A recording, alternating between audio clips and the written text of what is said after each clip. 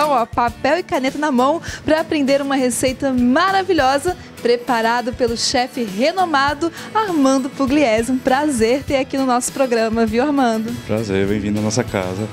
O que, que você vai preparar pra gente, hein? É, eu vou preparar hoje um risoto coreano. Uhum. Na verdade, é um arroz frito, parecido com um arroz chinês que a gente está acostumado a comer, mas com um toque de Coreia. Leva o quê? Quais são os ingredientes? Um pouquinho de tudo. A gente tem ervilha torta, cenoura, abobrinha, filé, ovo, uhum. selga. É uma misturada bem legal. É um prato bem sofisticado também, né? Sim, dentro da cultura deles é bem sofisticado. Então me conta um pouquinho da sua história. Você já fez de tudo um pouco pelo jeito, né? Da onde veio essa paixão pela gastronomia? Desde pequeno, eu acompanhava minha babá cozinhando em casa. Ficava olhando e aprendendo. Olhando e aprendendo e me metendo nas coisas que ela fazia. E sempre fui apaixonado por isso, mas depois tive que optar por uma carreira mais sólida na época Fiz administração, mas logo que acabou, eu encontrei uma brechinha na cozinha e voltei para fazer o que eu queria.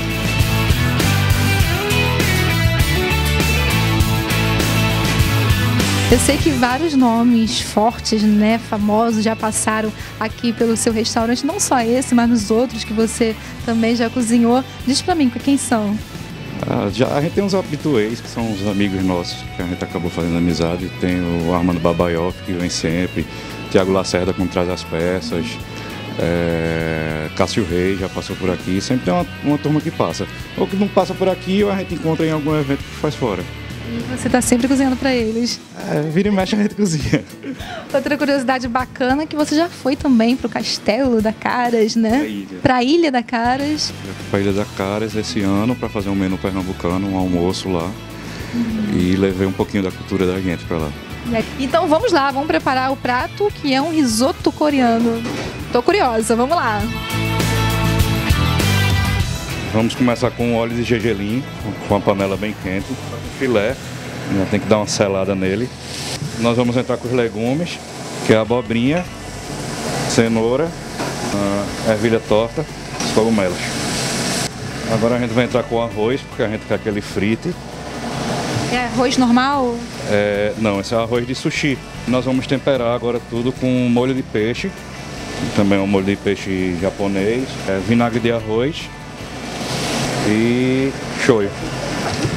Agora tem um toque especial, né? É, a gente vai entrar com gergelim preto agora, a conserva de acelga, que é o que vai dar um pouquinho de picância no prato.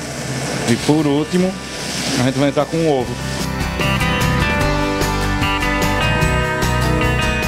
o cheirinho tá maravilhoso. Ela tá pronto, foi super rápido, bem facinho de fazer, agora é só degustar. Vamos lá, tô com água na boca. Nessa, montar o prato agora. Além de cheiroso, o prato também ficou muito bonito. É importante, né, ter uma boa apresentação. É, é o primeiro contato que o cliente tem, né, com a comida. Então. Come com os olhos, né? Pressionar primeiro com a apresentação, depois com o sabor. Vamos lá, e combina também com que bebida? O que, você recomenda? Geralmente, é, os pratos orientais é recomendado ou saquê ou então um vinho branco, bem leve. Do jeito que está aqui? Do jeito que está aí. Então vamos lá, quero provar.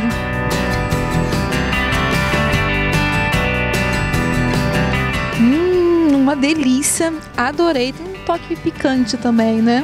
Tem, ele tem um fundo picante, mas super leve. Bem suave, né? Nada. Delícia que enlouqueça ninguém, não. Só vai enlouquecer querendo comer mais e mais e mais. É, a proposta é essa. Olha, uma delícia e a receita completa você encontra no nosso site. Entra lá e aprenda a fazer esse prato maravilhoso. Muito obrigada, adorei. Obrigado. Querendo voltar, estaremos aqui. Vou voltar sempre, nem se preocupe.